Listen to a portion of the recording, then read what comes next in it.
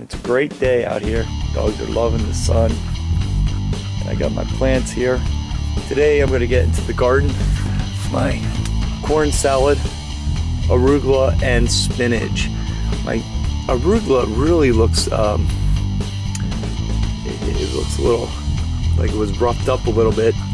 I have a feeling that maybe the lights upstairs were a little too hot, but these have been hardening off outside for a little while now, so I'm going to get them into the ground. So he's going to go under my tunnel here.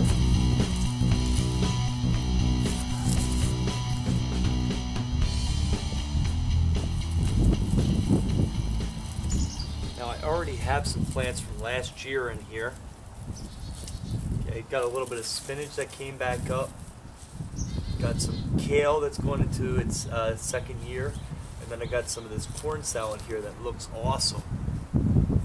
I use the square foot gardening method, but I don't put, leave a grid on. What I found is that these skewers, wooden skewers, are perfect for making a square. So they're uh, exactly a foot long. So watch, if I go like this, okay, I got the one square on there, and then I can put this one over here. The corn salad's a little bit in the way. And then I can figure out where my, my square is, and then I just line it up like this. And I make little squares with the skewers. So you can kind of measure this way first, and then I can do it this way, or you can just use an extra one and throw it in there.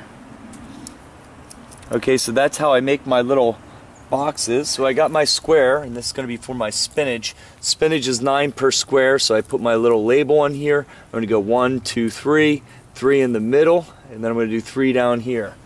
Okay, so I'm going to just pop these babies out, just like that. Put my first one over here.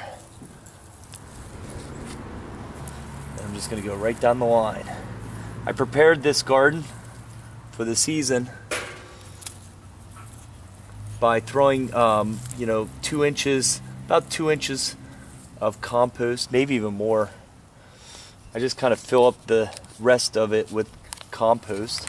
These guys have been sitting outside for over a week now, hardening off. We had a little bit of snow, so I used my um, cold frame behind you to kind of throw them in there even when it's a cool day, but there's some sun out. Okay, so I'm going to make one more square over here. So I just kind of pull these over. See that? These uh, skewers straight across. Okay, just kind of making, pre-making some spots there. Okay, we got the arugula.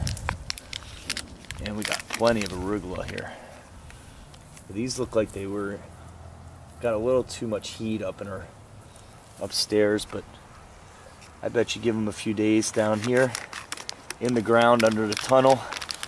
they're to spruce right up. We have some 70 degree days coming up.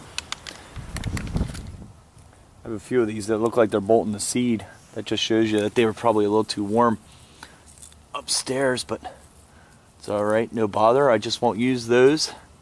Get the mulch in here. Okay, this one's again, it's another one that's nine per square. This corn salad, I, I can't wait. I, over here I got some and I'm gonna let it go to seed. I hear once you let it go to seed, it's pretty hard to get started. I don't know, I had a lot of missed attempts of starting corn salad. Even when you look at this, um, th this thing I did, I planted a whole lot of seeds and didn't barely get, it looks like I won't even have nine of them to plant. But they say once you get it to go to seed, just goes crazy. They said you can't get rid of it once you let it go to seed. It just keeps on coming up as a volunteer. So I want to get to that point because that would be really cool. Hey guys, we got uh, all our plants tucked back in under the tunnel. I'll give you an update on them later. Um, it, thanks for watching guys. You watching the channel really helps us out. Makes me really want to make you more videos and show you everything we're doing. And I'm so glad that you guys are joining me on my kind of life experiment in doing many things here like gardening. Alright guys, well if you liked the video, please like it, share it with your friends, and we'll see you in the next video. Thanks for watching.